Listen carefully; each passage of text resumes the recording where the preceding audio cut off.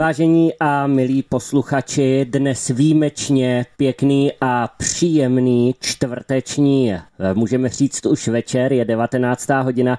Já vás vítám při dalším eh, vysílání nebo při poslechu dalšího pořadu Studia Berlína Svobodného rádia a já samozřejmě vítám opět ve vysílání mého uh, milého kolegu a zejména vašeho uh, milého, uh, řekněme, uh, vašeho milého, no, mého milého hosta, Jirku Froňka. Jirko, ahoj, vítej ve vysílání, se se do toho teď zamotal. Ahoj, ahoj, hezký večer všem posluchačům. Tak eh, samozřejmě, eh, protože dnešní čtvrteční vysílání je standardní, jako bývá páteční, takže telefonní číslo do studia 608 065 958 je pro vás připraveno. Do 20. Eh, hodiny můžete posílat SMSky, ty můžete konec konců posílat po celou dobu trvání pořadu a od 20. hodiny a 15. minuty se budeme těšit dnes na vaše telefonické dotazy, náměty a připomínky, protože já, než se dostaneme k dnešním tématům, tak si neodpustím eh, vás, naše posluchače, velice pochválit. Eh, protože eh, já, když jsem se probíral těmi archivními záznamy, tak eh, musím říci, že vy, posluchači, nás, se nás nejen ptáte, nejen se nás dotazujete, ale zejména velice věcně a fakticky přispíváte obsahově i do našich vysílání a tím jsou ta vysílání samozřejmě o to lepší, o to živější a o to i kvalitnější. Takže to jsem jenom chtěl říct na úvod. No a dnešním tématem bude samozřejmě opět energetická krize, eh, inflace, ale dnes se na to podíváme eh, trošičku z jiného úhlu pohledu. Eh, tady se nám totižto v Evropě dějí takové zajímavé, nepříliš dobře vypadající politické záležitosti. A jednou z nich je například vyvlastňování nebo zestátňování, což by v některých případech samozřejmě eh, mohlo a mělo mít pozitivní efekt na eh, republiku nebo na zemi a samozřejmě na obyvatelstvo. Nicméně eh, to, co se děje nyní, a já se dostanu k Německu, protože u nás se to bude pravděpodobně eh, dít eh, postupem času taktéž, eh, tak ono se, tak vláda německá dělá pravý opak a v podstatě tu moc, kterou si zajistila, tak ji obrací proti lidem a proti svým občanům. Uh, Jirko, jestli dovolíš, já mám takový mm. trošku delší uh, úvod na začátek, ale potom budeš mít dostatek prostoru ty. Tak, takže uh, já začnu. Energetická krize v důsledku energetické transformace, klimatické politiky a sankcí proti Rusku v současnosti ničí Německo jako obchodní místo a prosperitu jeho občanů. A pozor, tím ničí ale i celou Evropu, včetně České republiky. Stejně jako energetická krize, tak ale i inflace eh, ničí naši životní úroveň. To každý ví. A nekrátkou dobu.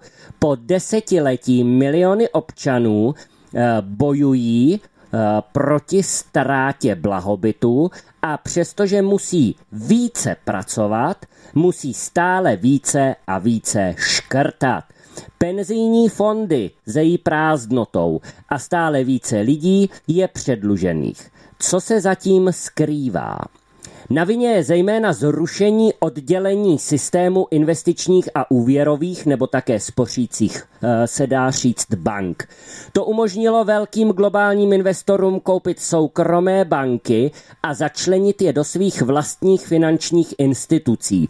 Získali tak chytré a levné úvěrové peníze od centrálních bank, které jsou vlastně určeny k udržení ekonomických aktivit a stabilizaci spotřebitelských cen.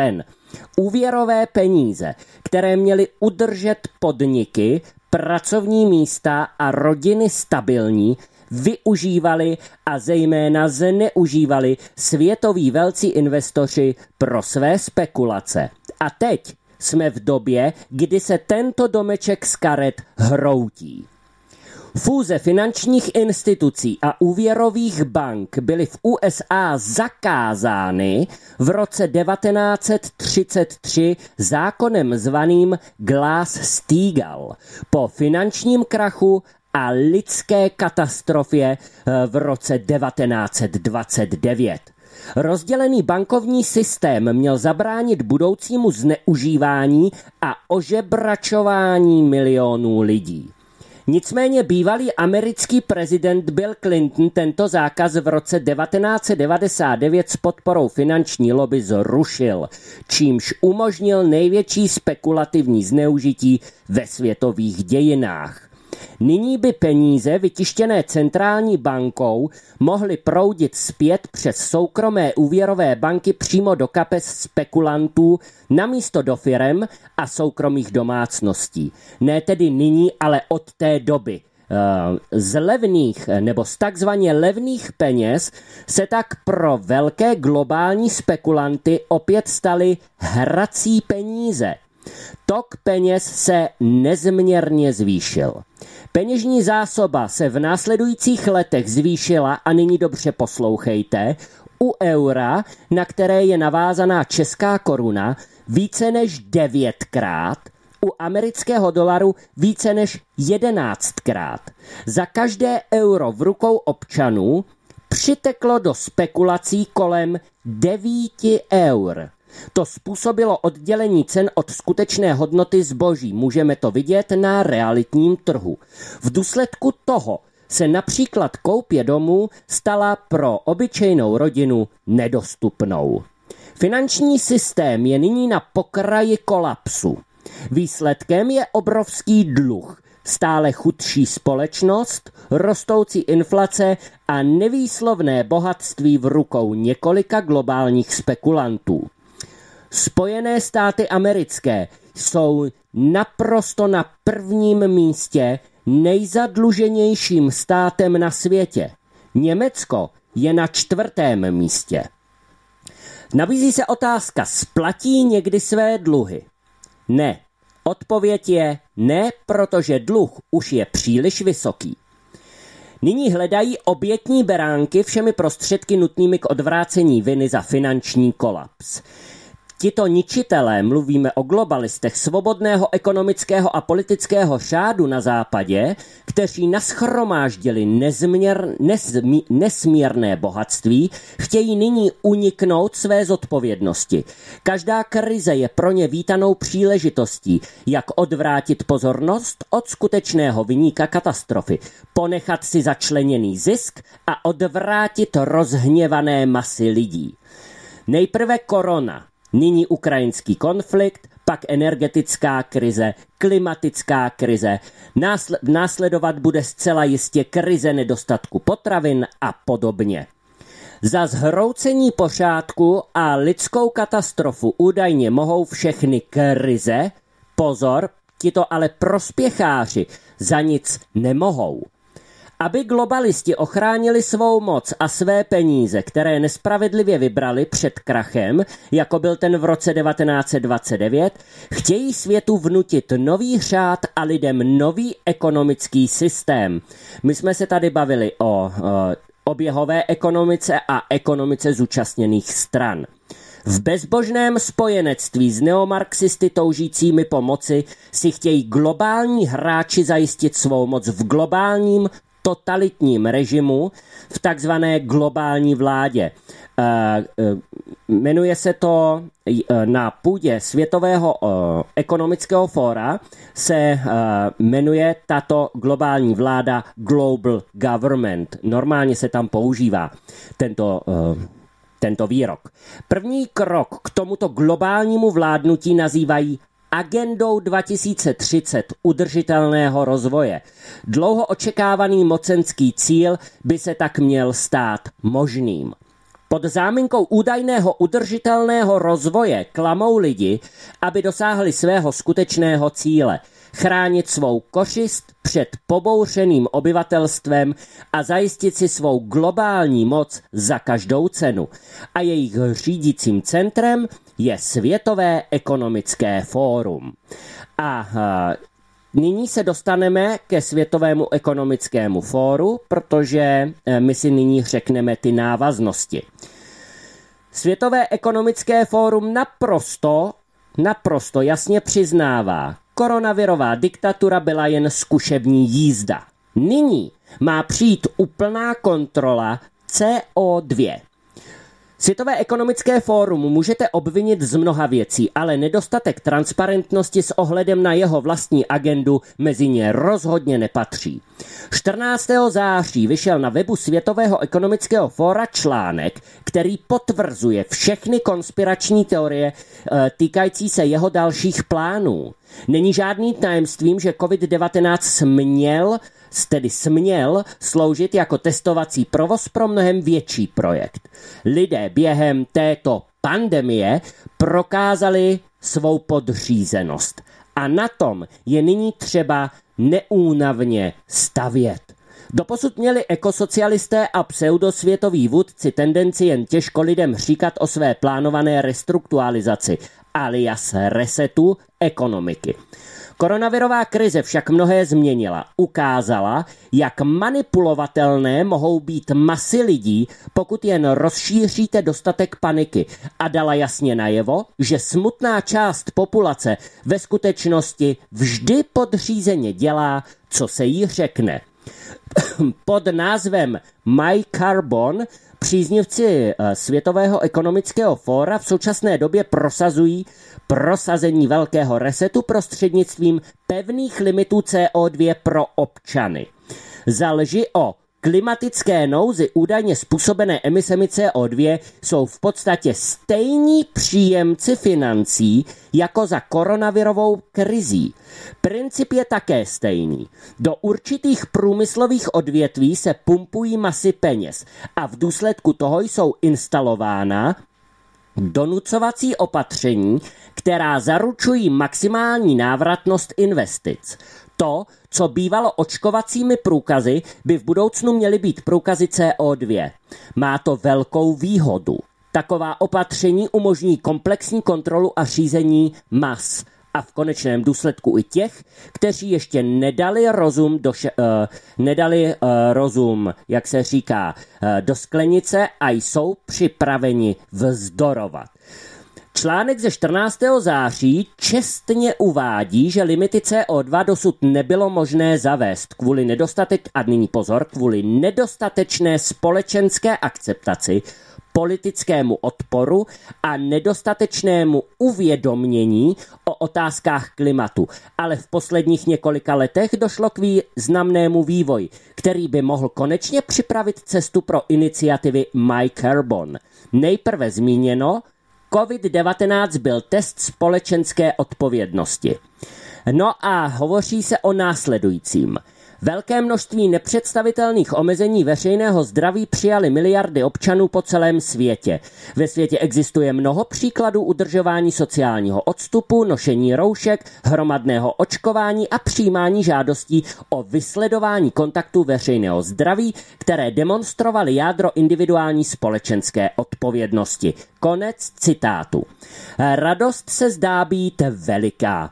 Úzkostliví koronaparanoidové a jejich následovníci ukázali, že velká část lidí také přijímá nepředstavitelná omezení bez jakékoliv kritiky. Pro Světové ekonomické fórum je to zjevně výchozí signál pro nová omezení. No a net, teď se dostanu k tomu, co, o čem jsem hovořil včera ve zprávách. Já jsem včera ve zprávách hovořil o tom, jak klimaaktivisté, ve skutečnosti klimateroristi v Německu v, v pondělí odstavili uhelnou elektrárnu půlka té elektrárny, myslím, že to bylo eh, tak ne, eh, nevyráběla žádný proud protože ji blokovali. V du, uh, a uh, Světové ekonomické fórum samozřejmě hýří chválou těmto lumpům.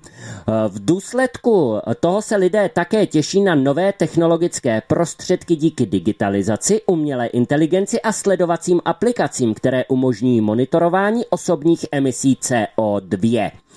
Eh, jinak, eh, nevím, jestli o tom víte, ale slovenská Tatra banka tak poskytuje eh, poskytuje bezplatné vedení účtu a veškeré služby zadarmo pro ty, kteří si nechají sledovat svoji vlastní uhlíkovou stopu touto bankou.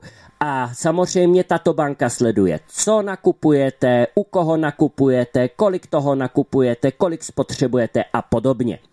Takže to jenom uh, mimo uh, tento příspěvek. Kromě toho výrazně vzrostlo povědomí lidí o údajné klimatické nouzi. Mladí klimatičtí demonstranti si v tomto bodě zaslouží zvláštní zmínku. Ve Německu se tato uh, až tak vzorná skupina lidí dopouští především zločinu. Bundeskriminalamt, což je spolkový kriminalistický úřad, dokonce nedávno varovala před útoky ekoteroristů na energetickou infrastrukturu. No a v pondělí Německo jeden takový zažilo. Eh, Světové ekonomické fórum náležitě uvádí Německo jako nejlepší příklad nárůstu velmi znepokojených obětí propagandy od roku 2015, což pravděpodobně naznačuje, že zločiny jsou také tolerovány, pokud slouží této agendě. Aby bylo zajištěno, že i kriminální ekofašisté budou mít neustálý nárůst, Světové ekonomické fórum nedávno doporučil, aby se taktika zastrašování klimatu stala předmětem ve školách. No a nové CO2 Eh, jako nový normál. Pod bodem Co dál se článek zabývá tím, jak by měly být prosazovány limity CO2 s pomocí odpovídajícího sociálního hnutí. Co je na tom legrační? První bod zvyšování nákladů na aktivity a produkty vypouštějící uhlík a ekonomická intervence s cílem snížit poptávku a zlepšit efektivitu již zažívají občané v západních zemích. Zde bude pravděpodobně průkopníkem Německo se svými zelenými. Jak známo, zelený mor v Německu dlouhodobě slouží Světovému ekonomickému fóru Klause Schwaba. No a na řadu přišlo okrádání a vyvlastňování lidí. A to už se bavíme o současné situaci, eh, kterou si rozebereme s Jirkou. Protože ve státech už není co krást, zaměřuje se tento zločinecký režim nyní na obyčejné občany. Lidé mají ještě stále naspoříno dost peněz a hodně peněz mají také v hotovosti poschovávaných doma – a lidé už jsou jediní, kteří skutečně něco vlastní. Ať jde o movitosti, nebo, eh, pardon, o nemovitosti nebo movité statky. Za poslední tři roky sledujeme následující tři trendy. Za prvé, likvidaci středně velkých a malých podniků a podnikatelů. A to ať příka- zákazem podnikání v době této pandemie nebo uměle vyvolanými enormními cenami energií. Za druhé, lití státních peněz do soukromých korporací, v době pandemie zejména do farmaceutických gigantů, v současnosti do dodavatelských energetických společností a tím neúměrné zvyšování státního dluhu. No a za třetí, zestátňování dodavatelských korporací a jejich udržování na burzovních trzích, a to i těch, které většinově státní jsou, a pozor, dotování těchto korporací penězi ze státního rozpočtu, které si stát musí půjčit, a nově vzniklými daněmi, jako je například v Německu nová daň z plynu. Obyčejný občan dnes již musí pouze platit horentní sumy, na které stále více lidí přestává mít dostatek finančních prostředků. A to jsme teprve na začátku, protože pokud tento systém pojede dál, skončí většina občanů střední třídy bez úspor, bez peněz a bez majetku, o které jednoduše přijdou. Německo v tomto režimu postupuje velice rychle a my si připomeneme pár příkladů.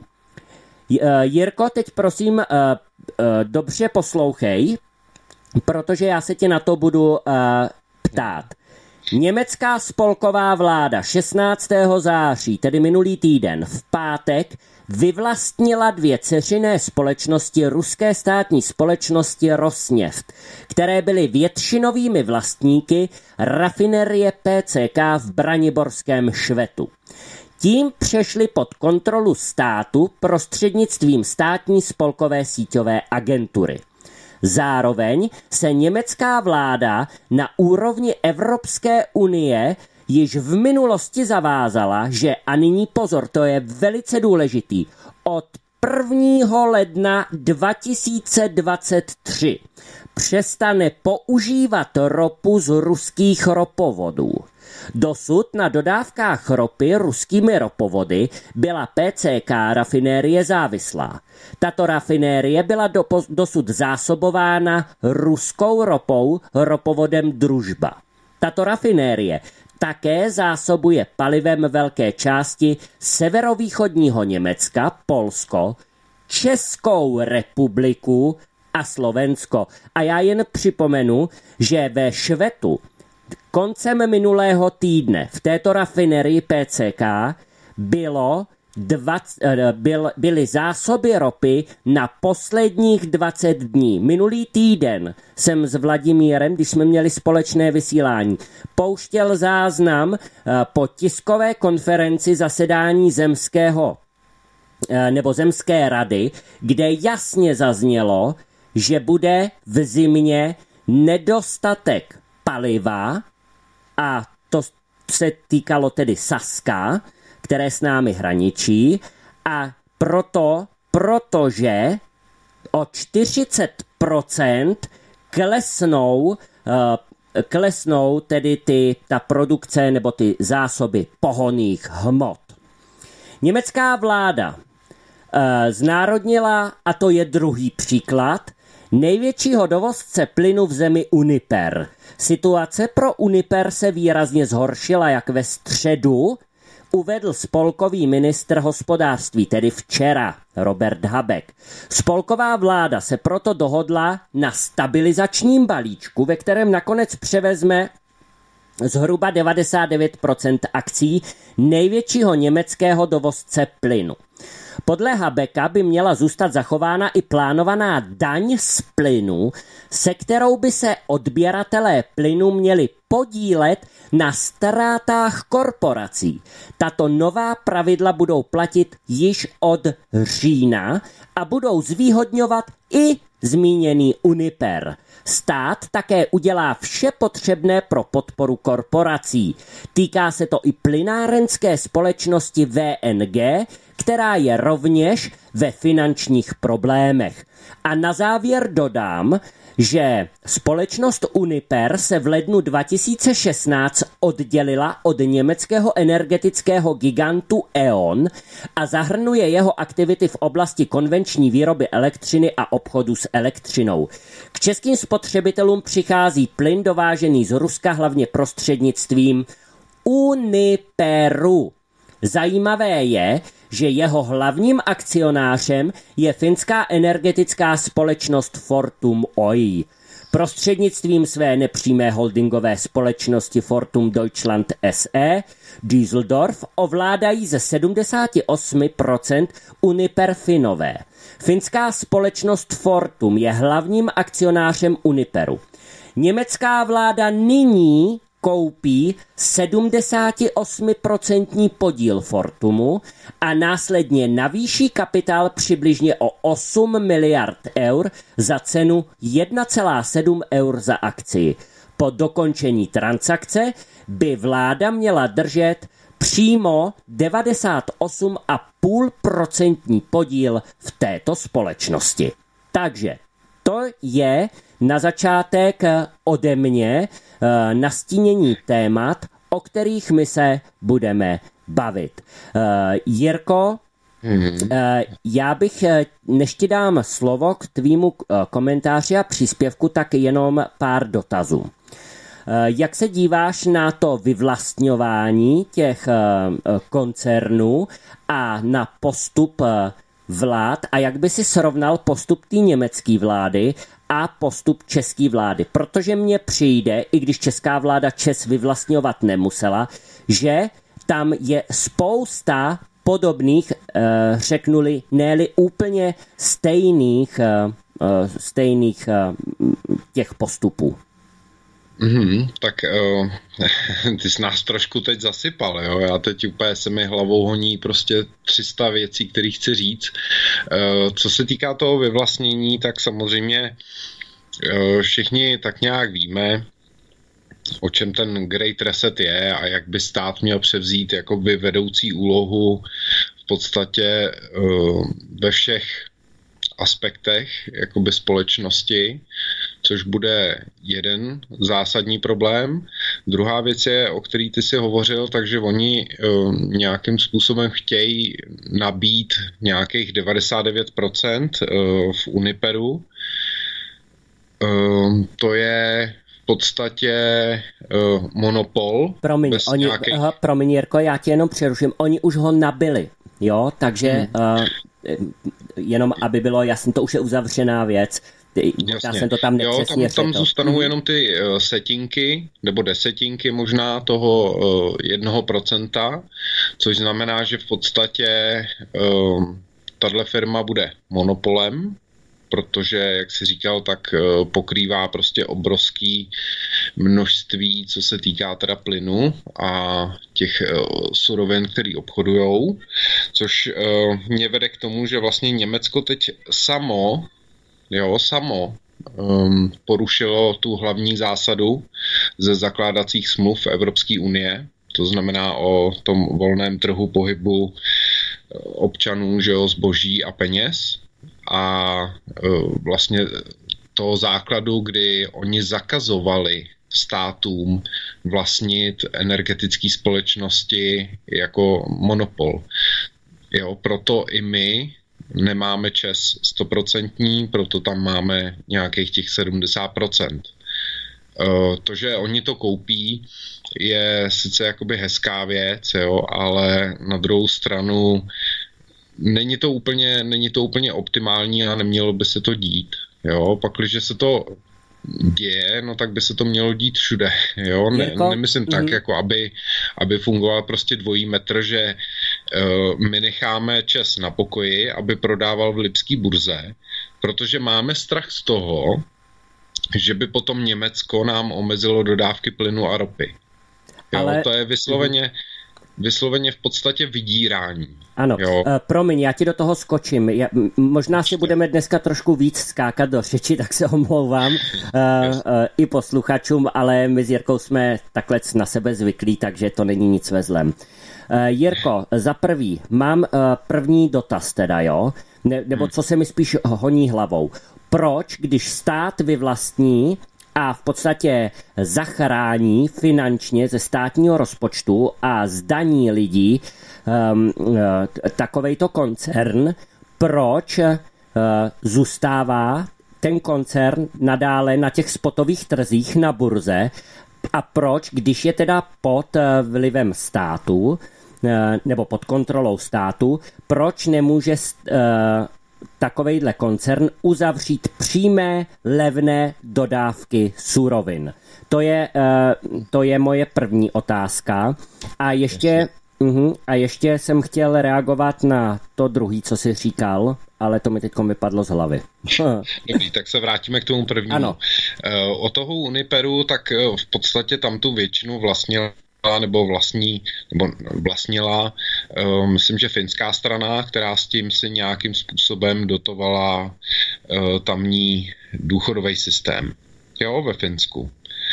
Uh, teď, teď teda nějakým způsobem se to mění, pře, převezme to Německo. A to Německo to převezme z čistě jasného a jednoduchého důvodu, aby mohlo dosáhnout toho, že ta společnost nebude zlobit, a bude dělat to, co dělat má. To znamená, bude obchodovat pouze ten plyn, který uh, Německo si bude přát, takže můžeme se bavit třeba o tom LNG americkým, jo, a tím jakoby trošku směřu k odpovědi i proč to jako za každou cenu se musí vyvlastnit, jo, aby prostě ta společnost, protože pokud uh, funguje soukromá společnost, uh, tak funguje tak, aby vytvářela zisk. Logicky, proto existuje.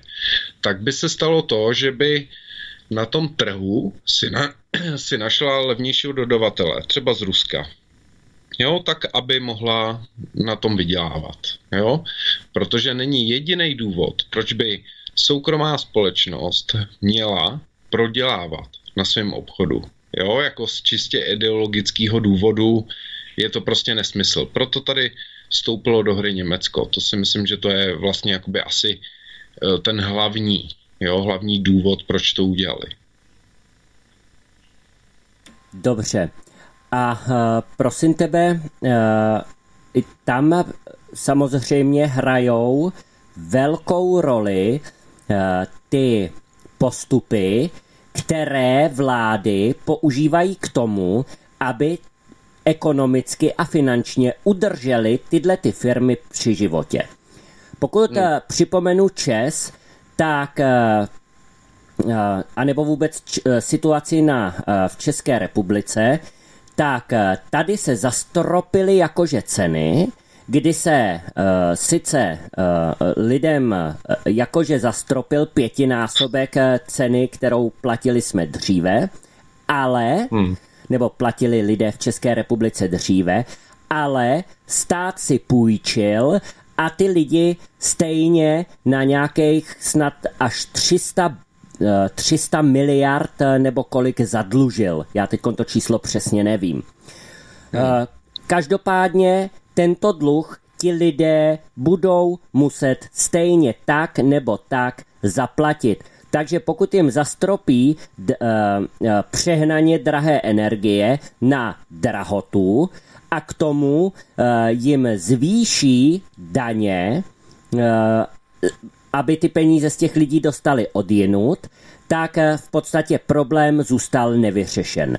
V Německu tam tedy teďkon sebrali, nebo sebrali, zestátnili, jak tomu říkají, například ten Uniper a e, budou tedy do něj ze státního rozpočtu dávat, dávat peníze, těch 8 miliard tam zaznělo, v eurech, aby tedy ta firma pokračovala dál, ale navíc od října budou občané němečtí platit daň, takzvanou plynovou daň ze kterých se budou takovéto společnosti, protože Uniper není jediná, těch společností bude mnohem více, bude přibývat, tak eh, tyto peníze poputují nikoliv do státní kasy, ale poputují přímo eh, k těmto, eh, k těmto koncernům, aby vyrovnávali tedy jejich ztráty. A já jsem se, já jsem tady narazil Eh, v České republice na výraz válečná daň. A mně to přijde, že je to takový všechno velice podobný. Tak jestli by si k tomu se mohl vyjádřit. Já ti jenom odpovím teď. Ty jsi si v podstatě v tomhle příspěvku sám na to odpověděl. Proč toto Německo dělá, proč ovlivňuje, proč dotuje firmu a proč bere v podstatě peníze od lidí na to, aby sanovali její dluhy. Jo. Jo, protože není jeden jediný důvod, proč zachraňovat soukromou společnost. Pakliže se ta společnost ideologicky nebo z nějakých jiných důvodů rozhodne, že v podstatě si vyruší svého dodavatele, díky kterému funguje, no tak ta společnost páchá sebevraždu, že jo. A tady je naprosto zřejmý, že Německo se snaží nějakým způsobem tu společnost zachránit. Jo? A je docela na snadě, jakoby proč to dělá. Že? Dělá to právě z toho ideologického důvodu, aby, aby ta společnost neobchodovala s tím levným plynem z toho jakoby strašného Ruska. Jo? Jo, takže tak nějak jako oklikou si na to odpověděl. No a, a promiň, týká... já si myslím i, nebo ne myslím, my to vidíme, že v podstatě hmm.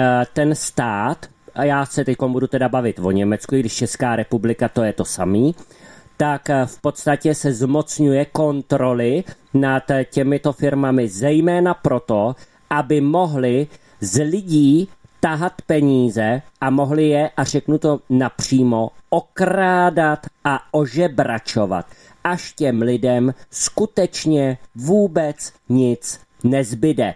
Protože ty nálady v Německu začínají velice houstnout, my se o tom můžeme ještě trošku podiskutovat eh, později, začínají tam velice houstnout a začíná tam být, eh, začíná to i v tom Německu mezi lidmi vřít. Tak, Jasně. ale já nechám mluvit tebe. Já se, v pohodě, já se vrátím k tomu tématu. Eh, ty jsi nakousl teda tuhle tu plynovou dáň, nebo jak tomu říkají, jo, ve směs uh, u nás teda to pojmenovávají jako válečná dáň, v podstatě je to způsob, uh, jakým vyhladit ty rostoucí dluhy. Jo, protože já třeba jenom tak jako zase odbočím, jo? ono se to moc jako nedělá, ale odbočím. E, já jsem si vzal ten Fialovo příspěvek na Facebooku, jak na všechny vyskočilo, která je tam cena za nějakou malou, střední, velkou spotřebu. Já jsem si vzal tu velkou spotřebu té elektrické energie, tam byla nějaká cena, myslím, že asi 5500 korun, jo, a že díky stropu je ušetřeno 1600 korun. Jo, já když jsem si to převedl na výrobní cenu toho množství, o kterém teda oni píšou, že stojí 5,5 tisíce nebo bude stát 5,5 tisíce, tak výrobní cena je někde kolem 500 korun. Když vezmu k tomu daň, vezmu k tomu uh, tu ekodaň, jo, nebo já nevím, jak to pojmenovat, jo, ten jejich Green Dealový nesmysl, do toho vezmu marži a distribuci, tak v podstatě se dostanu někde na cenu 1200 korun. Jo, 1200 korun stojí vyrobit, zdanit, rozvést lidem a tak dále. Tenhle ten objem, eh, který oni nám podsouvají za 5500 korun. A já se ptám, kde teda je ten rozdíl? Kde je zbytek těch peněz? No samozřejmě, že zůstává že jo, ve společnosti toho dodavatele. To znamená, zůstává v tom Česu. A my to všechno zaplatíme. Nejenže my to zaplatíme Česu, ale my to ještě doplatíme Česu, ten rozdíl. Jo? A já nevím, jestli lidé jsou natolik hloupí, anebo tak slepí, že si tohle to jednoduchý nedokážou uh, nějak jako vysvětlit nebo spojit, protože je naprosto zřejmé, že vláda z vlastní kapsičky ty peníze nedá. Takže někde je musí vzít. Oni si tady teda vymyslí, že budou dotovat 130 miliardama, jo, tenhle ten průmysl, ale to je otázka jenom času. Ty peníze, to je nic, jo, ve srovnání s roční nějakou spotřebou, tak 130 miliard je prostě nic. To, to zmizí během nějakého krátkého období a pak se budou muset zase tahat peníze. A teď se vracím konečně k tomu mému tématu, kdy teda česká vláda zvažuje nebo vážně zvažuje zavedení takzvané válečné daně, která by zdanila některé společnosti, které v současné době zažívají mimořádné zisky, ale ne kvůli zlepšeným službám, ale kvůli takzvaným vnějším událostem, řekl ve středu ministr financí náš uh, oblíbenec další novej Zbyněk Stanjura, televizní stanici CNN Prima News. Řekl, že taková daň by se dotkla pouze velmi úzké skupiny společností a odmítl být konkrétnější. Ministr financí také vyloučil zdanění konkrétních sektorů jako celku nebo zvýšení DPH, čímž ovšem podle mého názoru odmítl i samotnou válečnou daň, protože tato válečná daň je právě ta sektorová. Návrh válečné daně se setkal s kritikou opozičních stran. Místo předseda ANO Karel Havlíček to označil za čistě populistický krok. Mezitím Radim Fiala ze strany Svoboda a přímé, přímá demokracie SPD řekl, že existují i jiné možnosti, než zvýšit daně. Jedinou jinou možností, která mě napadá, je asi přestat financovat zbytečné projekty, které zatěžují státní rozpočet, přestat okrádat vlastní národ na jeho plodech a efektivně zajistit veškeré zdroje, které by ušetřily lidem peníze. Nevím, co jiného by bylo možné, ale nechme to na SPD. Oni určitě budou mít nějakou cestu, ale myslím si, že nebude uh, daleko od té mé. Vedle elektrikáře a tuneláře z Opavy, tedy současného ministr, ministra financí, tu máme ještě prostáčka Péťu. S hrůzou dodám, že současného premiéra České republiky. Ten ve svém sebestředně naiv, naivním světě tento nápad, který samozřejmě sám nevymyslel a byl mu podstrčen, tak v tom nás zaplétá do systémových sítí neomarxismu, na kterých již dlouhá léta funguje Evropská unie. Péťa a celá ta banda spolu fungují jako krysař, který vede své občany rovnou do propasti bídy. Dnes již nikdo nemůže pochybovat o tom, že vědomně nebo nevědomně tahle tlupa se podílí na, agen- na agendě 2030, potažmo Great Reset, a na rozšíření neomarxismu po celé Evropě. Vládní strany takřka po celém světě v současné době diskutují o možném zavedení zvláštní daně zaměřené na neočekávané nebo mimořádné zisky, které by sanovaly různé problémy. Jednou je to covid, jindy válka, pak zase nějaká krize a tak dále, teď už to známe. Když to zjednoduším, tak válečná daň je vlastně taková záplata mimořádných nákladů, které by jinak vytvářely dluh. Podle vlády tyto zisky vznikají hlavně pro energetický sektor a banky a v důsledku války na Ukrajině a rostoucí inflaci. Diskutuje se také o zavedení této daně na odvětví výroby a distribuci pohonných hmot. Vzhledem k potenciálním nákladům na zavedení a výběr této daně je však sporné, zda by mimořádná daň, tedy ta válečná, byla v odvětví pohonných hmot vůbec zisková.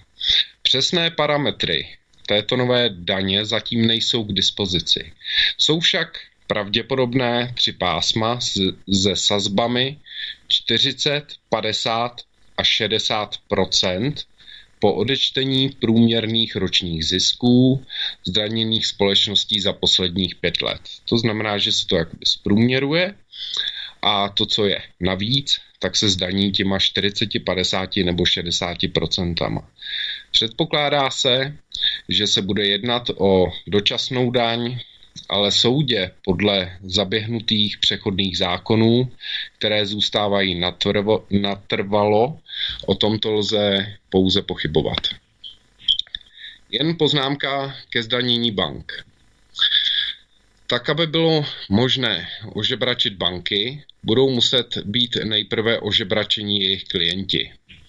Co by to tak asi znamenalo pro klienty, krom zvýšení úrokových sazeb a poplatků? Především naprostý hospodářský pokles a snížení úvěrových investic. Už tak vysoké nájemné a ceny nemovitostí to samozřejmě vyžene ještě výše do takzvané úvěrové bubliny. Inflace cen nemovitostí zintenzivnila rostoucí bytovou krizi, od nedostupných nájmů až po vážný nedostatek skutečně dostupného sociálního bydlení. A to se netýká pouze České republiky, ale v podstatě eh, celé Evropy. Rostoucí ceny nemovitostí a pokles míry soukromého vlastnictví se dalo a dá do značné míry předvídat. Aspoň u těch, kteří nás momentálně poslouchají. V 80. letech v 80. letech stál průměrný byt v průměru desetinásobek ročního platu. Dnes je to minimálně desetkrát tolik. To má řadu nežádoucích vedlejších účinků. Rozbil se sen o vlastnictví domů mladých lidí bez bohatých rodičů, což vyústilo v proces čekání na dědictví a přechod takzvaně mladých ke starým. Já ti, Jirko, do toho, promiň, já ti do toho skočím. Teďkon o to přesně to, o čem ty mluvíš, tak eh, přinesl článek, já nevím, jestli to bylo včera nebo převčírem, německý mainstreamový deník uh, Die Welt. Já nevím, hmm. jestli jsi to od nich nevopsal, ale ne. úplně stejně to tam takhle odcitovali. Aha. Takže vidíš, No ale tak že je to ne... logický, já ano. jsem byt kupoval, takže já vidím, eh, vím, kolik stál a vím, kolik stojí, jo, ano. takže ano.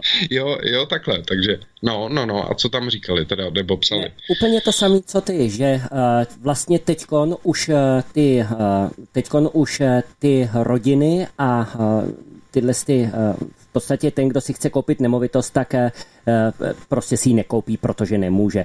A pouze ten, kdo dostane peníze právě z dědictví, tak to jsou jedni, kteří si můžou nějakou nemovitost koupit. Jinak jenom taková zajímavost, v České republice, nebo Česká republika má nejvíce soukromých vlastníků nemovitostí, kdežto Německo z celé Evropy úplně nejméně. Úplně nejméně.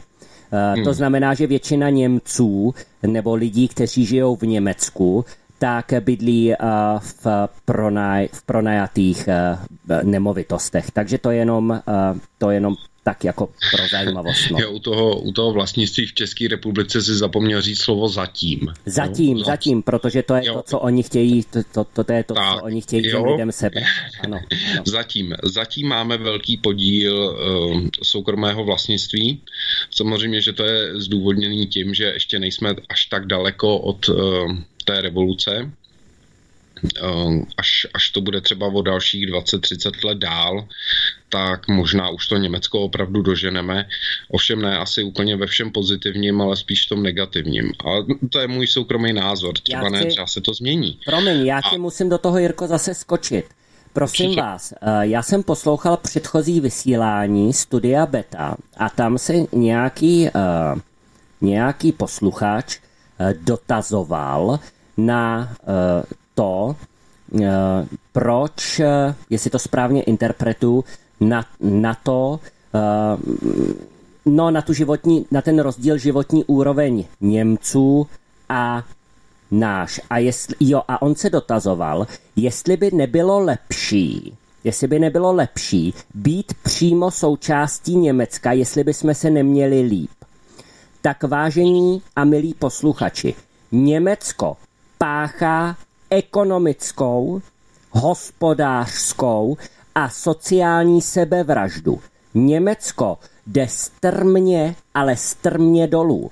A Německo tím, že jde naprosto dolů, že jde do naprostého krachu, tak stahuje i nás, protože my jsme na Německu závislí. Ekonomové uh, říkají i do médií českých, že jsme ekonomicky 17. spolková země Německa.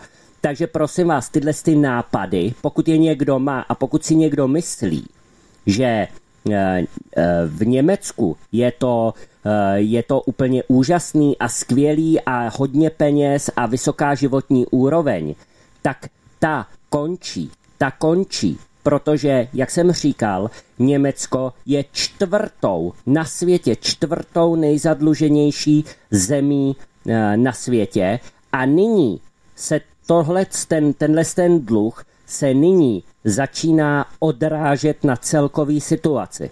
Takže, a to nemluvím o té zelený ekofašistické vládě, která tam po Merklový nastoupila. Takže jenom, jenom na tohle to upozorňuji. Tak Jirko, pokračuj, hmm. promiň, že jsem ti do toho vstoupil, ale musel jsem. ne, v pohodě, ta, jo, ale to je úplně stejný nápad v podstatě jakoby stát se součástí Německa, jako stát se součástí e, nový Evropské unie, nebo respektive jakoby Evropské unie jako státu. Jo, to je úplně stejný blábol. Jo, znamená to v podstatě co? E, ne zlepšení nějaký situace, jo, ale v podstatě, když spadne někdo do propasti, tak tam spadnou všichni. Jo, bez ohledu na to, jestli to jsou Češi, Francouzi, Němci, Španělé, Italové, Řekové, to je prostě úplně jedno. Jo, prostě to je, um, jak bych to řekl, vylitej hrnec, jo, prostě. A já úplně nechci být součástí prostě nějakého hrnce, že jo. Jo, máme vlastní zemi, máme vlastní republiku, máme vlastní národ, máme vlastní identitu a to bychom si měli chránit. Ne se rozpustit v nějakém evropském kotlíku e, mezi ostatní, ať se nám znaj, zdají jakoby přátelští nebo nepřátelští, jo, Němci, Francouzi, Italové, to je úplně jedno.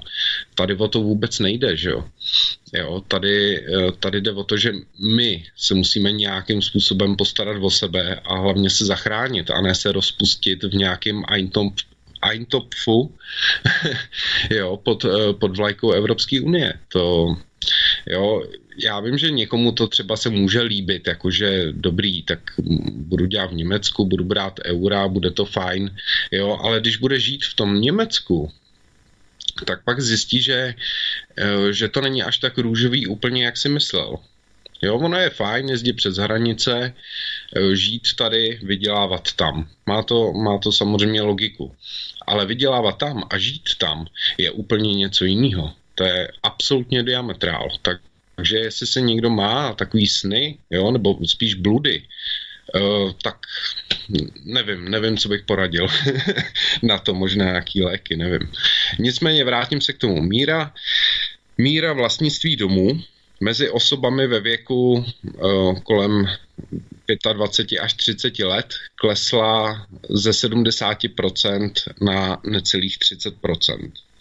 Tento trend více a více vede k rostoucí závislosti na soukromém pronájmu různých nadnárodních společností, jo, různý ty uh, fondy, BlackRock a další tyhle ty investiční fondy, to je jako soukromý pronájem. A pak je to rostoucí nejistota v otázce bydlení. Nikdo neví, jestli bude bydlet ve svým a jestli někdy bude bydlet vůbec ve svým, anebo jestli vůbec někdy ten pronájem dokáže zaplatit. Historicky vlády často uzákonily válečné daně na zaplacení války. Od toho je odvozen i jejich název. Dnes však žádná daň nejde pouze do války a z válečné daně se stává sektorová daň, která jako pijavice cucá peníze z určitých sektorů, kde se ještě dá něco sebrat. Ne nadarmo se říká, že kde nic není, ani smrt nebere. Válečná daň totiž se chová úplně podobně. Tam, kde je možnost ještě něco sebrat, tak tam se vrhne. Prostředky z daní jsou smíchány do obecného, chcete-li státního rozpočtu. Možná i záměrně, aby se zamaskovaly podrobnosti o výdajích a zmátly daňové poplatníky. Nejznámější a nejdůležitější válečnou daní je daň z příjmu fyzických osob. Tvoří jí téměř tři čtvrtiny příjmů z válečné daně do rozpočtu.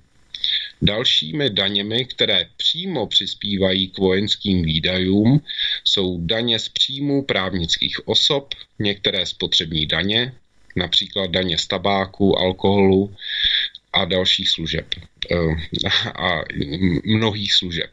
Eh, je to i daň z nemovitostí nebo darovací daně a cla.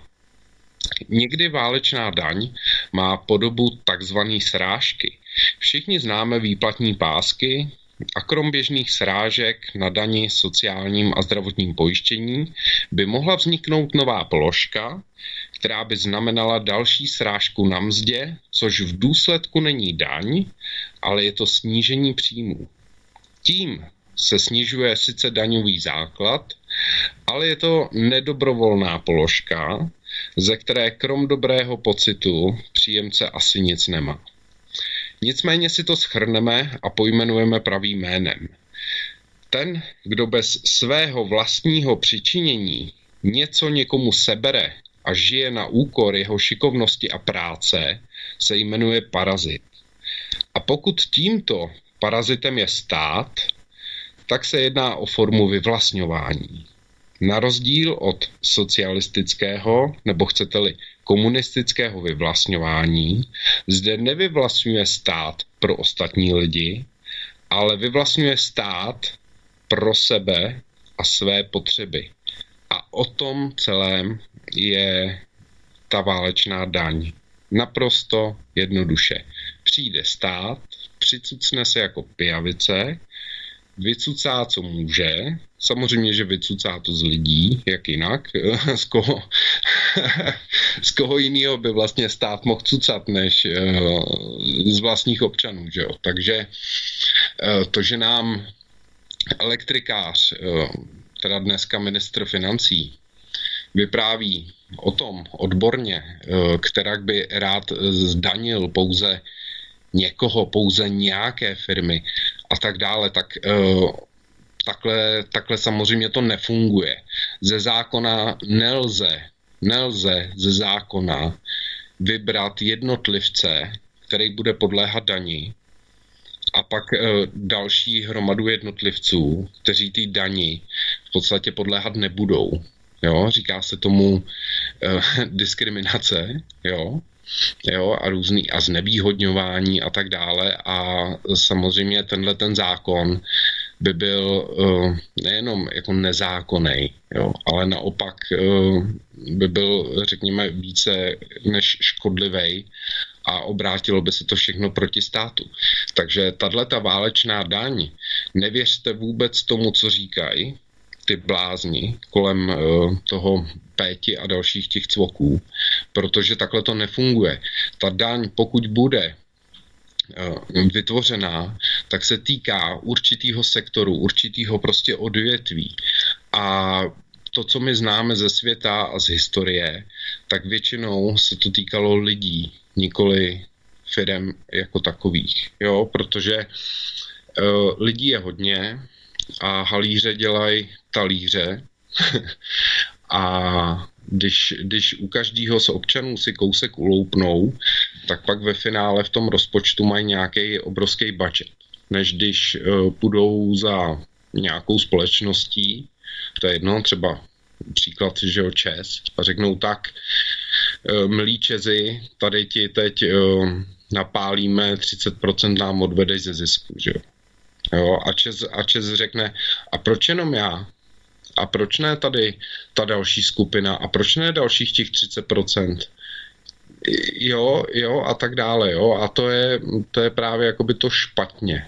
Jo, a nevím, nevím, jestli je to z důsledku toho, že nám vládnou neumělové a pitomci, anebo, nebo jestli je to takhle schválně, to nevím to nedokážu teda odhadnout, jo, ale takhle to nefunguje, protože pokud má daň, daň platit jeden, tak ji musí platit všichni a musí platit v podstatě stejnou.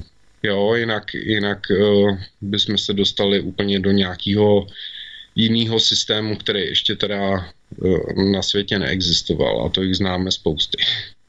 Tak uh, ona nám ta hodina hrozně rychle teď hmm. utekla, ale úplně strašně rychle.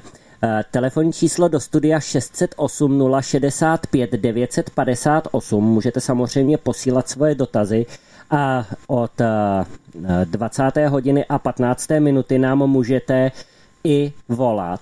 A my po přestávce, nebo já po přestávce vás ještě krátce seznámím eh, s momentální situací v Německu, protože ta začíná být opravdu velice kritická. A to je pro nás naprosto zásadní.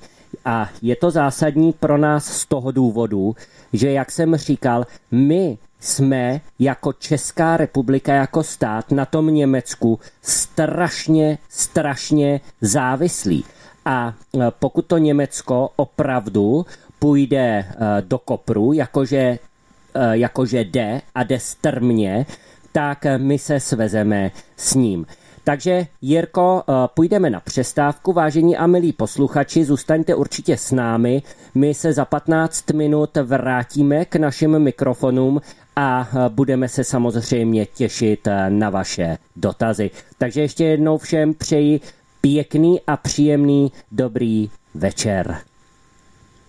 Takže vážení a milí posluchači, já vás opět vítám při já vás opět vítám při pardon, poslechu dnešního pořadu Studia Berlín Svobodného rádia a zdravím na druhém konci i Jirku Froňka. Jirko, slyšíme se? Taky zdravím i všechny posluchače při naší seanci. tak ty to, ty to nazýváš seance, no já nevím, jestli to tak naši posluchači taky nazývají, ale eh, dobře, aspoň to trošičku, aspoň to trošičku odlehčíme. Tak eh, já jenom zopakuji uh, telefonní číslo do studia 608 065 958. Můžete nám posílat SMSky, můžete nám uh, i volat už teďkon. Uh, budeme se na vás moc těšit a samozřejmě já jsem slíbil na konci toho prvního bloku vysílacího, že vás obeznámím s momentální situací v Německu. Co se týče politiky, tak eh, tam se na úrovni spolkové vlády eh, dějí teď trošku otřesy, protože, jak víte, tak eh, německá vláda je rozhodnutá odstavit teď na konci roku poslední tři funkční jaderné elektrárny. Eh, poslední vývoj je takový, jen připomenu, že ta nejmodernější, myslím, že se jmenuje Izar, eh, tak eh, ta bude odstavena úplně a ty dvě zbývající mají být přepnuty do takzvaného nouzového režimu. Čímž stávají energetickým expertům samozřejmě vlasy hrůzou na hlavě, protože jaderné elektrárny se jako záložní elektrárny nikdy v minulosti v historii nepoužili, nepoužívají se a z technického hlediska a bezpečnostního se ani používat pro tyto účely nesmí.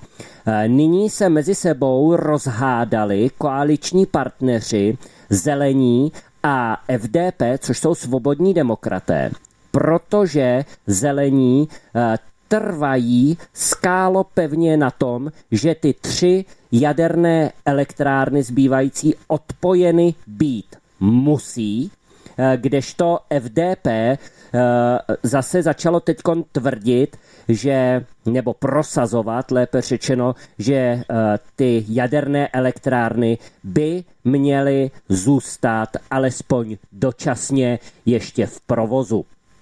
Takže uvidíme, jak se ta situace vyvine.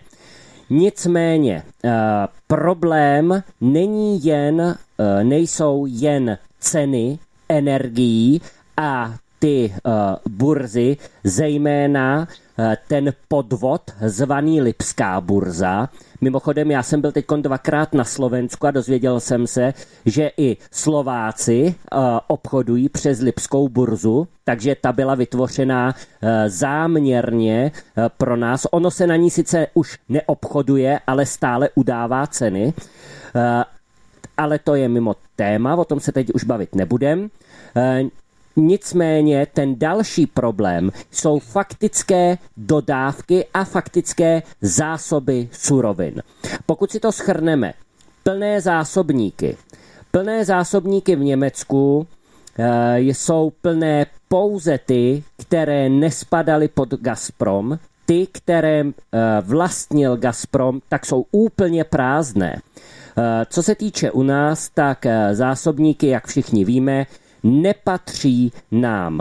Za druhé z technického hlediska do zásobníků plynu nelze chodit jak do špajsky pro plyn. Ten plyn se musí nějakým způsobem k těm odběratelům dostat.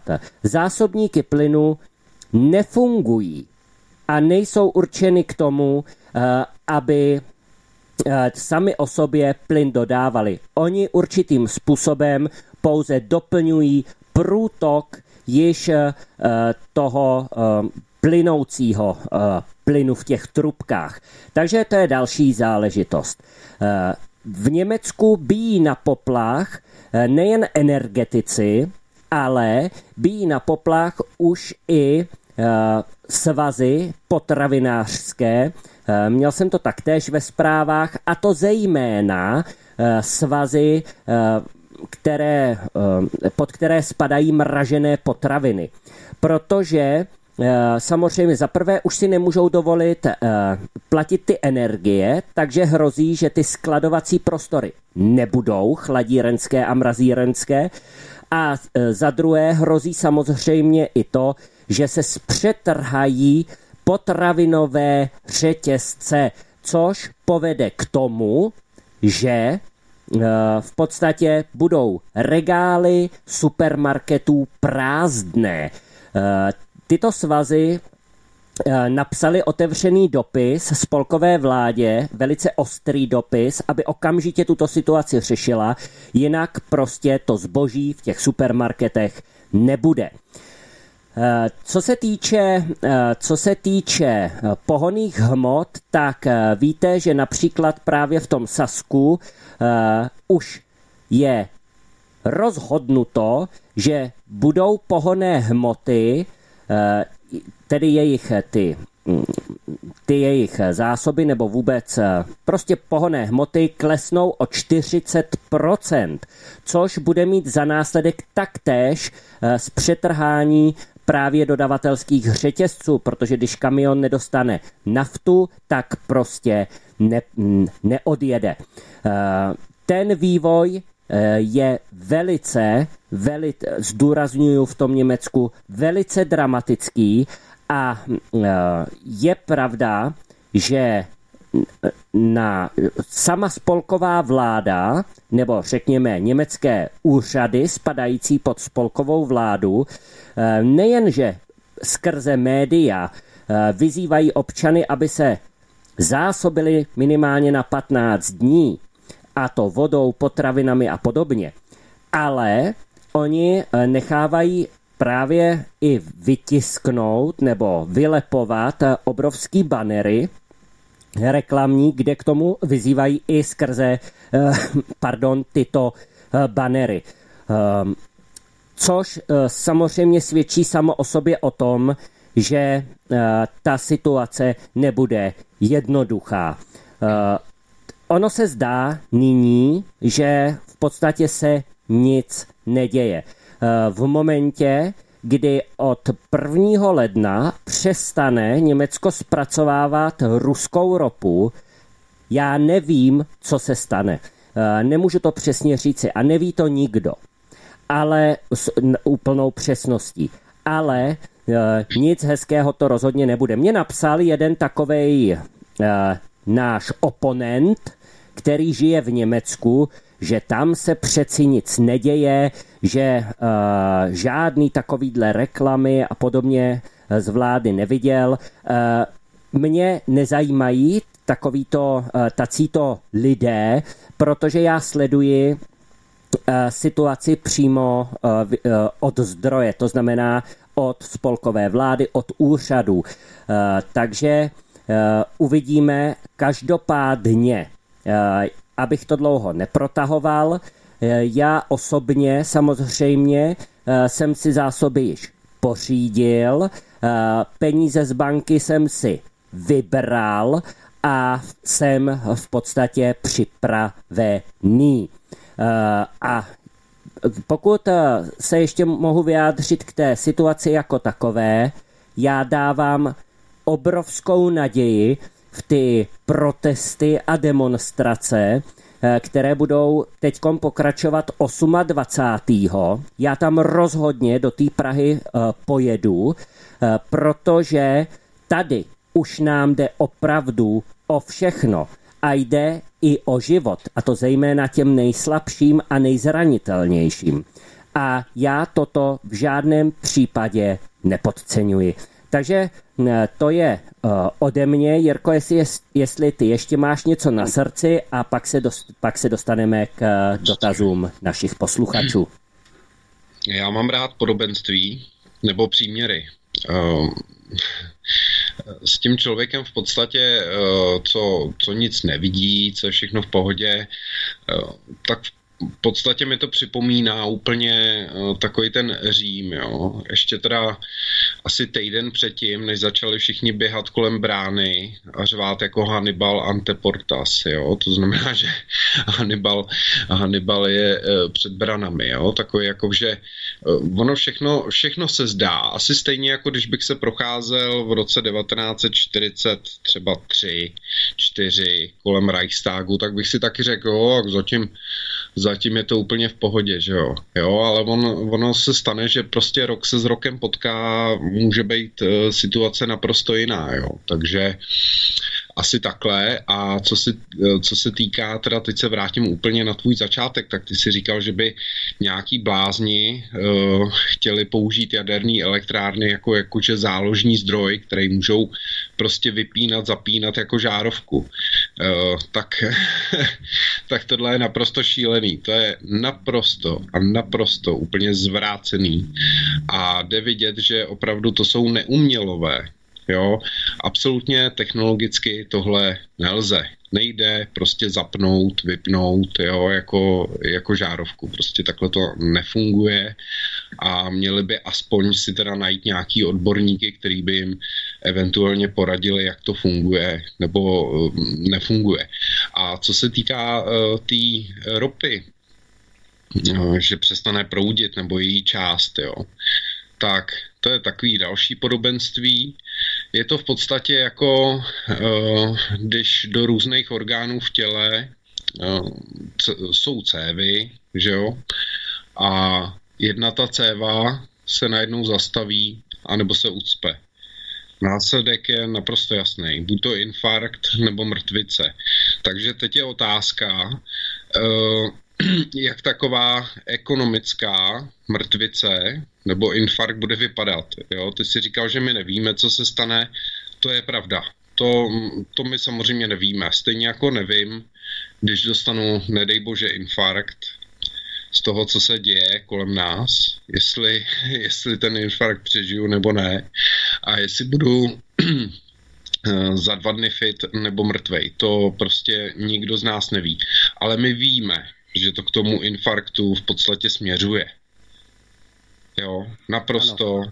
naprosto jednoduchý. Hmm. Nic víc není ani třeba dodávat k tomu. Já jenom k těm protestům. Uh, ono už nám nezbývá moc času eh, z toho důvodu, že Němci, Něm, Němci eh, nebo německá vláda uh, bude zřejmě vyhlašovat opět nouzový stav a Fiala, pokud to bude ve vedení státu, tak ho okamžitě převezme taktéž. My jsme na to zvyklí. Mm-hmm. že tady se eh, ty německé postupy přebírají eh, téměř okamžitě. A samozřejmě všichni víme, co nouzový stav znamená. Zákaz schromážďování, zákaz vycházení a podobně. Takže oni jsou na toto připravení. A já řeknu zcela upřímně a otevřeně, my už se nesmíme bát. Nesmíme se bát, protože uh, jde opravdu úplně, úplně o všechno. Takže to je jenom jako doplnění. A já jdu na první sms -ku. Čau kluci. Médii proběhla zpráva, že banky chtějí dát státu 50 miliard, aby se vyhnuli válečné dani. Zdraví Petr. Hmm. Tak eh, Jirko, jestli na to můžeš reagovat? Uh, no, ono samozřejmě, oni si, banky si uvědomujou, že když zaplatí tohleto výpalný, tak uh, získají nějaký klid, anebo záruku klidu, protože já už jsem to nakous v tom článku, nebo v respektive v tom příspěvku, co jsem měl, že u nás je taková tradice, že eh, vznikají takzvaně dočasný zákony. Jo, ale to jsou takový dočasný zákony, který pak trvají 10-20 let. Jo, takže ta dočasnost je docela dost široký pojem a ve spojení s naší, eh, dovolím si říct, úplně debilní vládou, tak, tak ta dočasnost má prostě eh, jo, meziplanetární obrys. Jo, to prostě nikdo neví, jestli je to jako daleko, nebo jestli, je to, jestli to bude dlouho, jestli to bude krátce, jestli to bude na týden, jestli to bude na 100 let nebo tisíc let, to nikdo neví. Takže banky jakoby se snaží nějakým způsobem eh, vyplatit, vyplatit, vysloveně uplatit vládu, aby prostě k tomu kroku um, nedošlo, protože pro banky eh, samozřejmě tahle ta ztráta, ať, ať to bude těch 50 miliard, nebo ať to bude něco, eh, nějaký ty procentní věci, eh, tak samozřejmě to znamená zdražení všech produktů, znamená to povinný platby, Dneska, dneska už málo která banka požaduje měsíční placení za vedení konta, za různé převody a tak dále. A tohle se zase vrátí, protože ta banka musí nějakým způsobem existovat. Jo? I když je to jenom prostředník mezi námi. Jo, banka je jenom prostředník, že jo, my tam dáváme vklady, jo, a ona nás v podstatě řekněme, ne okrádá, ale prostě nechá si ty služby, eh, který nám poskytuje, zaplatit. Logicky, asi jako každý. Jo, ale stát se tady prostě teď eh, snaží oloupit bankovní sektor a oni se tomu snaží zabránit. To je celý.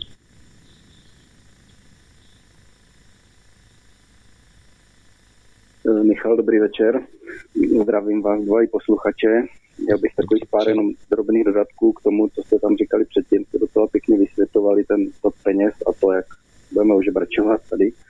Ale myslím, že tam bylo málo vypíchli jedna věc. Eh, setkávám se hodně i u vzdělaných lidí, u kterých to člověk nečekal, že pořád vůbec nemají šajna o tom, nějak jim tam pořád nedochází, co jsou to státní peníze, kde se berou a tak dále. Čili tady v tomhle hloupém národě je obrovsky zakořeněný, strašně hluboko takový dojem, že jsou nějaké státní peníze, takže když dostaneme dotace na zdraženou elektřinu nebo přidavky na děti nebo něco cokoliv jo, a stát zastropuje, na to zastropování značí, že ten rozdíl ceny ten stát musí uhradit. Jo. Takže lidi si teďka nechají ukolebat, zvláště před volbama, proto to asi ostatně udělali protože dva dny po volbách to může být jinak, jak nám e, ze zkušenosti vlastně dával loňský rok, kdy covid vůbec nebyl až do voleb a nečekali ani na všední dny a už v podstatě v neděli po volbách rozjeli covid. Mm-hmm. Takže to se stane i teď, jo? hned první pondělí po volbách začnou chodit ty zvýšené zálohy, složenky a, a už to nabere ty obrátky, mm-hmm. ale ať neodbojtuju. Čili žádné státní peníze neexistují. Protektorátní zpráva podotýkám, že slovo vláda odmítám v našem případě používat, to je protektorátní zpráva, nic jiného nejsou. Ano. Žádné své peníze nemá. Opakuji pro ty hloupé, žádná, i kdyby to byla vláda nebo protektorátní zpráva nebo kdokoliv takový, žádné své peníze nemá. To znamená, že všechno, co vláda vezme a někam zaplatí, někam poukáže, něco zadotuje, jsou jedně peníze, které pod pohruškou trestu až násilí ukradla těm, kteří ty peníze poctivě vydělali. To jsou ty naše daně. Jiné peníze ve státě neexistují. Mm-hmm. Takže aby lidem bylo jasno tohleto, jo, že mnoha lidem to pořád není jasno. A pak je tady ještě jedna věc, kterou jste úplně jako nedotáhli. Vy to víte samozřejmě, ale kvůli posluchačům zase to troufnu připomenout. To, co se teď děje, ona je zase zakořeněná taková hloupá představa, že jakoby to znárodnění nebo nebo jak bych to řekl, to sdílení třeba bytu, aut a tak, že to bude nějak, takže to bude jako státu nebo někoho takového a my si to budeme prostě půjčovat za nějaký drobný poplatek. Ono to vypadá v zásadě jako docela dobře, že nebudu se to do toho starat, platit pojistku, já si jenom něco zaplatím, jenom tu jízdu, zajedu si, dál to pro mě končí. Zás lidi to nedokážou domyslet, nemají tu představivost. Nic takového nebude to, co se teď děje, je stěhování peněz našich, z našich kapes, později to bude i stěhování nemovitostí, protože nám je seberou, do korporátních pracek. Ten stát, nejenom náš, v podstatě v Evropě to vidíme na všech státech. Stát už dneska není žádný samostatný subjekt, který my si jako zaměstnanci našich poslanců přes ty poslance nějak řídíme, nebo přes tu vládu nebo někoho. Ze států v Evropské unii se staly převodové páky, jenom vlastně mechanismy na odčerpávání peněz svého obyvatelstva a přesouvání do kapes korporací. Takže všechno, co se teď děje, různé daně, oni je nikdy nezaplatí, ty korporace. On je vždycky zaplatí koncový zákazník, všechny ano. daně, všechny poplatky. A kdo je ten koncový zákazník? No to je ten blbej, tupej obyvatel, který pořád ne a nese probudit. Jo? Uh-huh. Jiné peníze prostě v tom státě nejsou. To je úplně jednoduchá rovnice. A teď, jak jste zmínili ty banky, no ty taky nezaplatí ani korunu. Oni klidně tomu státu dají úplatek, aby se na ně chvíli nedíval, ale ten úplatek, jak jste tam ostatně řekli, zaplatí zase ti blbí klienti těch bank. A další věc, to nebude jenom, že zkrachuje Franta Novák. Ale pokud Franta Novák nedělá v korporátní zahraniční firmě, která vlastně tímhle roste a bude takhle zhrabovat majetky pod pláštíkem, jakože to stát, ale on to vlastně jenom oklikou přesune z soukromé kapsy do korporátní kapsy. Ano. Za to si ty korporace právě ty úplatky těm poslancům a těm vládám dávají. Mm-hmm. Tak eh, ona zkrachuje i firma, pokud dělá v české firmě s českým majitelem, která má nějaké zadlužení, nakoupila stroje, nebo která i zadlužení nemá, ale je závislá na českém trhu, nebo na vývozu do Německa, nebo někam jinam, mm-hmm. a není pod tou korporací. Jo, tak je vlastně na blacklistu. Ty korporace se přesně těchto firm budou chtít teď zbavit co nejrychleji mm-hmm. a co nejdrsněji.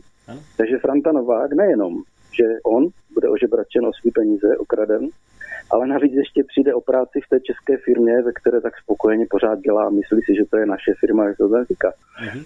Čili ty banky ve finále Frantovi Vákovi zadluženému a vyhozenému z práce, protože korporace zničili jeho firmu, ve které si vydělával, zahabají jeho barák, protože má Franta určitě hypotéku, a z té hypotéky právě dají té protektorátní zprávy ty úplatky, aby se na ně nedívali.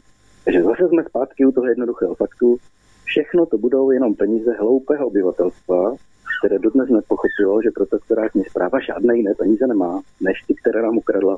Mm-hmm. A to je vše. Tak, výborně, já moc krát děkuji, že jste nám zavolal, protože vy jste to vysvětlil úplně krásně a přesně. A eh, já si myslím, jo, děkujeme moc krát. A já si myslím, že teď to pochopil úplně snad každý. Tak jo, děkujeme a tak přejeme vám příjemný večer. Hm? Večer. se krásně, nashledanou. Naslyšenou. Tak, takže ano, pan posluchač měl naprostou pravdu, přesně tohle, co se děje. Ono v podstatě i ty uh, kroky těch vlád, ať už české nebo německé, uh, to jasně, uh, to jasně dokazují. Jirko, já myslím, že k tomu asi není žádný další komentář, já hned, vezmu, da, já hned vezmu další hovor. Jo, dobře. Tak dobře. pěkný dobrý večer, vítejte ve vysílání. Dobrý večer, Honza Zolomouce. Dobrý večer. Večer. Tak, můžete mluvit. Eh, já děkuji tomu eh, posluchači, který eh, se vyjádřil přede mnou. Bylo to naprosto vyčerpávající a prostě popsal situaci, která, která tady je. Takže myslím si, že i největší blbec v České republice pochopil, co ten pán chtěl národu sdělit. Jo, jako je, je, to, je to opravdu je asi zbytečné, abych se k tomu dál vyjadřoval, protože on popsal situaci naprosto detailně. Ale vážím si těchto lidí, kteří tímto způsobem se dokáží vyjádřit, dokáží nějak pozbudit národ a vysvětlit podstatu věcí. Děkuji vám, přeji pěkný večer. Taky děkujeme, naslyšenou. Takže uh, Vidíte, hmm. vážení, nebo slyšíte, vážení posluchači, že skutečně uh, ty vaše telefonáty jsou velice důležité a velice přínosné a uh, je to samozřejmě tak naprosto uh, v pořádku. Uh, já přejdu uh, teď k SMSC. Zdravím, mně už to vše přijde jako cílená likvidace podniku a potom přijdou nadnárodní společnosti a vše koupí, protože ty jediné to vše ustojí a až se uklidní situace, tak to vše otevřou a zisk půjde jen jim, protože to, co se děje, mně už přijde, že ty vlády ani nechtějí, aby to fungovalo. Buď si do vlád nasedli naprostí, uh, já to odcituji, debilové, anebo prostě mají noty, podle kterých tancují. Takže to je v podstatě reakce i na ten předchozí telefon. A já teda přijmu další, protože se nám to tu valí, takže uh, ať se neopakujeme. Je to obojí. Tak, Nebylo i ano. podle plánu. Dobrý tak, večer, tady do... paní Irena, já se je, přidávám paní taky. Irenko, dobrý večer, zdravíme vás. Dobrý večer, zdravím vás, zase přidávám k tomu pánovi předtím a teď ten pán taky říkal, taky se přidávám k tomu, protože to je schválně dělaná likvidace počet lidí, že jim vadí, že je tady tolik lidí, chtěli by 8 miliard národa zničit a jednu miliardu nechat. Jim je to jedno, jestli umře i kojenec nebo někdo. Když to je tak průhledné, oni to, nás chtějí všechny vylidnit a zničit, to je prostě válka proti národu. A přesně to řekl, kdyby jsme my, pracující národ, neposílali tam do EU peníze, do Německa a všude jinde, tak oni žít nebudou bez nás, vykrváci. Je to tak? Hmm, je, to je to tak. A potom ještě bych chtěla pana Kapala pozdravit, protože on tam mluvil ten jeden, co je mu do toho, jestli on nebude volit SPD, co nám je potom se tam vychlubovat. Tak pana Kapala se zastávám i toho, co mluvil pět hodin teďkom. Co nám je po tím, že on nebude volit někoho se tam chlubit. Ty, ty lidi opravdu mají vy, vypatané mozky, jak to říkal ten pán. Jinak vás pozdravuje Irena, ano? Tak zatím Paní Irenko, a... děkujeme za zavolání, naslyšenou. Ano, naschle. Takže to byla, to byla paní uh, Irenka, dlouho se nám neozvala, tak uh, jsme rádi, že zavolala. A já hned dojdu k další SMS. Zdendo, na Messengeru máš ode mě snap jedné zprávy z Facebooku ohledně Německa. Můžeš kouknout, eh, dík.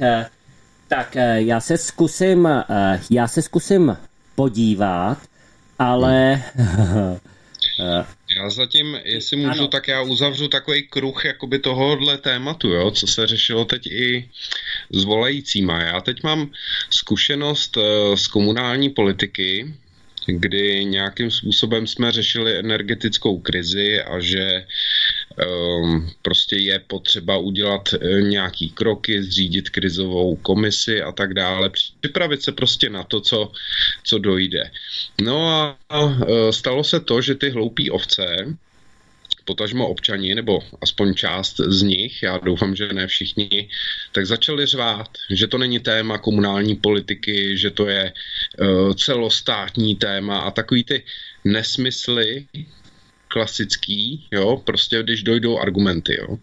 No tak uh, jsem jim vysvětlil jednu důležitou věc, že ty energie a ty jejich ceny a vůbec uh, dostupnost těch energií, tak v prvním jo, v první uh, řadě dopadá právě na občany všech vesnic, obcí, měst, to je úplně jedno. Takže uh, není pravda, že by to bylo celostátní téma.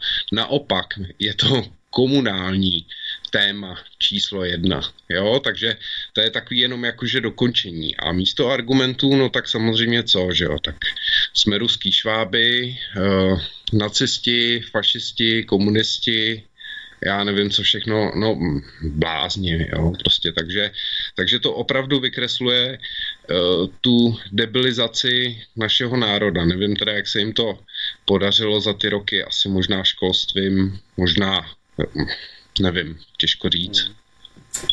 Tak eh, a eh, já teda nevím, o který snímek šlo, možná, že šlo právě o snímek aktuální z moskevského letiště, tam, kde eh, asi se naráží na tu zprávu o tom, jak eh, houfně prchají mladí lidé eh, kvůli té mobilizaci z Ruska, takže prý ty letiště jsou prázdný a provoz je normální. Ehm, já nevím, jak bych to okomentoval, každopádně, každopádně já jsem sledoval, já teď trošku odbočím, já jsem sledoval ten projev, Vladi, já jsem sledoval i Bidenův projev. Bidenův projev, v podstatě on tam jenom předeslal, že bude tvrdě pokračovat v agendě udržitelného rozvoje 2030. Mohl to říct jednou větou a mohl si tam odpustit ten jeho dlouhosáhlej proslov, uh, což znamená nás teda všechny okrást a obrat a zničit. A pak jsem sledoval i na CNN Prima News eh, projev Vladimíra Putina. A zajímavý bylo, že čtyři poslední minuty CNN utnula. Ty poslední čtyři minuty toho proslovu tam chyběly. Takže eh, jsem nelenil, my jsme si to našli, ten proslov, a eh, v těch posledních čtyřech minutách Putin mluvil skutečně o tom, o té o tej mobilizaci. A hlavně mluvil o tom, že nasadí veškeré dostupné prostředky, které mají, a to i včetně teda těch jaderných zbraní, eh, k tomu, eh, aby vlastně eh, ubránil, ubránil Rusko. A ty, řekněme, ty oblasti, které se k tomu Rusku připojí. Takže tady sranda už skončila. Vy, kdo jste viděli ten proslov, tak jste si určitě všimli, že byl nepodrážděný, ale už doslova hodně, ale hodně naštvaný. A já nemluvím z pozice slabosti nebo tak, ale tady už opravdu ten konflikt míří někam, kde už je to skutečně, ale skutečně za hranou. A proto eh, je naprosto nutný, naprosto nutný eh, začít mírová jednání. Eh, já jsem o tom nepřesvědčený, ale já toto naprosto tvrdě prosazuji. Takže to jsem jenom chtěl říct eh, k tomuhle tomu. Dobrý večer, pane Chytro, to je další SMS, která nám přišla. Co říkáte na to, že Škodovka ukončila výrobu své vlajkové lodě Fábie kvůli tomu, že konkuruje Škodě Karok? Podle mého názoru je to likvidace aut pro střední třídu. Tomáš z Vysočiny. Tak my děkujeme eh, panu posluchači Tomáši z Vysočiny. Tomáši, klidně nám můžete i zavolat, eh, linka je volná eh, a já na to říkám jedno jediný. Za prvý je to samozřejmě ekonomický tah Volkswagenu, protože já si pamatuju, že Volkswagen něco podobného udělal s Octaviema, když přišly ty první série nebo ty první řady do výroby, tak oni strašně konkurovali uh, Passatům, který byli žraví, líní a pomalý. A uh, v podstatě uh, proto tam nějak Volkswagen nařídil dávat jiný motory, aby Němci kupovali ty Volkswageny a ne ty Škodovky. Tak nějak si to matně, matně vybavuji. No a eh, ale samozřejmě souhlasím tím, že eh, že likvidace aut pro střední třídu končí, protože tady se opravdu počítá s tím, že budeme jezdit jenom, těm, eh, jenom tou formou těch sdílených aut. Vždyť od roku, od příštího roku by třeba v Berlíně, a už jsme to tu také říkali, měli lidé možnost používat svoje auta jenom 12krát do roka. A hlavně ty lidé to neuplatí, protože jestliže Němci přestanou zpracovávat levnou ruskou ropu, tak já od 1. ledna 23 a jakože přestanou, pokud tam zůstane tato vláda, tak já nechci vidět, já nechci vidět ty ceny pohoných hmot. Takže eh, to je moje eh, odpověď. Jirko? Hmm. Střední třída. No, tak eh, s tou tyhle ty neomarxisti nepočítají, protože střední třída má dostatek peněz na to, aby byla v rámci možností svobodná, na rozdíl od té nejnižší, která svobodu žádnou vůbec nemá a ta velká zase eh, vyšší třída, tak se bojí o svý majetky, takže v podstatě o tu svobodu se sama připravuje. U té střední třídy, tak to je v podstatě nejsvobodnější eh, vrstva společnosti a s tou se nepočítá. Ta se musí zadupat do země, vyzmizíkovat, prostě zlikvidovat.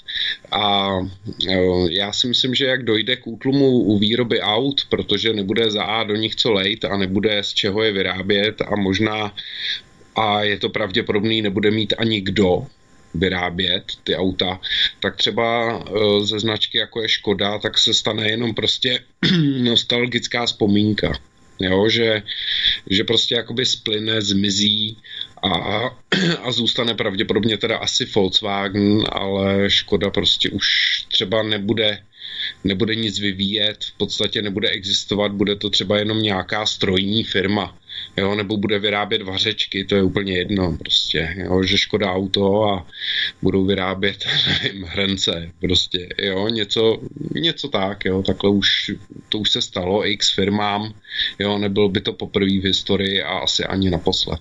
Mm-hmm. Tak, půjdeme na další dotaz, ten je velice zajímavý. Ta zpráva je z úterý. V Německu prý už radí, jak používat WC během uh, blackoutu. Uh, tady uh, posluchač nám posl, nebo mi poslal posluchač Petr uh, ten screenshot, takže já vám ho teda přečtu. V Německu upozorňují doporučeními, co dělat, když hodiny nejde elektřina. Jedním z těchto rohových bodů je používání toalety primárně v místech, kde je potřeba čerpat vodu nebo kde je toaleta spláchnuta bezdotykovým vybavením. v takových případech je doporučeno vzít pytel na odpadky a vyrovnat s ním toaletní mísu. Pytel na odpadky by měl být dostatečně velký jen na to, aby se přeložil přes okraj přes sedadlo. Po použití toalety pozbírejte pytel na odpadky a vyhoďte ho. Eh, samozřejmě můžete použít i kýbl a dát do ale tady už je to useknutý, protože je to screenshot. Eh, no, Nic... vylejt, vylejt z okna, rozhodně. Tak, pozor. Uh, ono nám to může přijít uh, docela komický a docela nereálný, ale mně to přijde, uh, já jsem tady na, tedy na to nenarazil, ale přijde mi to víc než realistický. Proč? Protože když v New Yorku vypadl prout, uh, kdy ten výpadek, ten blackout trval tři dny, možná si na to pa- pamatujete, tak co tam bylo největším problémem? Největším problémem byla hygiena protože ten odpad z těch toalet se prostě nesplachoval a byly s tím obrovské hygienické a i zdravotní problémy. Eh, mělo to velké zdravotní dopady. A byl to jeden z největších problémů toho blackoutu. Takže já bych se nedivil, eh, kdyby eh, německý úřady nějaký takovýhle doporučení samozřejmě vy, vydávali. Co se týče mě osobně, tak, tak já tedy pokud by k tomu došlo, k tomu blackoutu, jakože já ho absolutně nevylučuji, protože i česká síť eh, elektrická je propojená eh, s tou německou, takže jakmile bude blackout v Německu, tak eh, předpokládám, že, nebo předpokládám, jsem si jistý, že bude i tady, tak já rozhodně by jsem vodu, jako za prvý zásoby mám, takže to nevadí, ale abych neplejtval pitnou, tak já bych sem hold chodil třeba tady k řece nebo tak eh, pro užitkovou vodu, právě abych zamezil eh, tomuhle tomu problému eh, s tou hygienou. Takže to je jenom takovej ode mě, hm, takovej ode mě jenom poznatek. Jirko? No, na to množství obyvatel by asi z té řeky se stala řeka Ganga. Jo, za chvíli by se tam začalo i pohřbívat a někdo by si tam začal čistit zuby a já nevím, co všechno. Ne, já nemyslím, pardon, já nemyslím tím, já nemyslím tím, že bych jo. tam vylejval nějaký splašky, ale že bych si bral z ní tu vodu, no, donesl bych si ji to... domů, abych měl čím splachovat. Jo, to jo, to jsem pochopil, no, ale dobře. spousta lidí nebude takhle sofistikovaných a půjde rovnou kadit do té řeky, jo, takže mm. Jo, jenom tak, no, tak. tak nějak jsem to, no, ale je to úplně, hele, je to úplně hmm. stejně chytrý nápad, jako o té uh, drápy pletací, jak se jmenuje, marketka. Jo? že, jo. Že, že se máme koupat společně. Já nevím, jako společný, společný sprchování, to nevím, to znám akorát z dokumentů eh, o druhé světové válce, tam byly mm. takový jakýsi společný sprchy. Jo, jestli, jestli to myslela tímhle stylem pro nás, já nevím. Jo, nebo že si máme péct kuře nějak dohromady se sousedama, že bychom jako eh, všichni se sešli a upekli si hromadu kuřat v jedné troubě a nevím, jo, mně to přijde jako, že ten člověk, jestli je to člověk teda vůbec, jo, mm-hmm. marketka, drápy pletací, tak uh, jestli to myslí vážně, nebo, eh, nebo je tak jako vážně hloupá, nebo jo, mně to přijde prostě zvláštní. Jo. A i když jsem jí po, pozoroval na těch různých diskuzích, tak v podstatě nepřesvědčila ani diváky na to, aby přesvědčila mě jo, byť i nějakým náznakem nějakého názoru. Já myslím, hmm. že ten člověk vůbec absolutně neví, která by je, že je úplně mimo realitu a nedokáže argumentovat vůbec nic, mm-hmm. jo, krom, krom nesmyslů. Jo. Tak eh, Jirko, máme posledních pět minut, takže já uh, přijmu náš poslední telefonický mm-hmm. rozhovor. Uh, dobrý večer, vítejte ve vysílání. Dobrý večer, tady posluchačka Věra, Severní Čechy. Je, zdravíme vás.